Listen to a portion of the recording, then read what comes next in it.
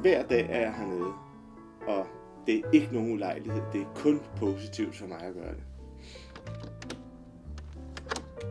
Men nu kommer jeg kun om morgenen med at komme ind her i kongressalen, starte med at tage vandkanden og fylde vand eller i vandkedlen, for det er rigtig godt at have noget, når man stopper med at arbejde. Ja, jeg synes altså, jeg tror, det er godt på mange ledere, men det er jo også noget mentalt. Og ja, det er ligesom motion er også godt, men folk kan jo også skvatte om med et dårligt hjerte alligevel, øh, efter meget motion og så videre. Jeg bliver ved så længe, så helbredet holder, og jeg føler, at det er godt for helbredet simpelthen også. Jamen, de synes generelt, det er stærkt gået. Men der er mange, der siger, at det er bare ikke noget for mig. Men altså, de fleste synes, at det er godt gået.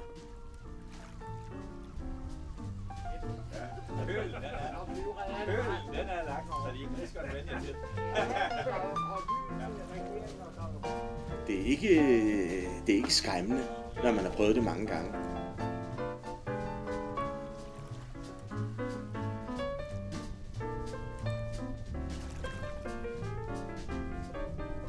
Jamen så er det, hvad skal man sige, besluttet på forhånd. Det er bare, der er kun én vej. Det er fra trappen og ned i vandet, og du ved godt, at du får sådan, sådan et iskoldt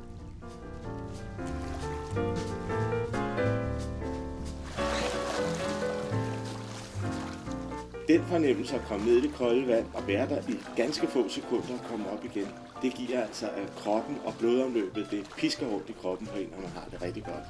Blive tørret og komme ind i saunaen og få temperaturen langsomt til at stige og sidde med gode venner, der også har den samme passion for det kolde vand der og samværet. Det er rigtig, rigtig godt.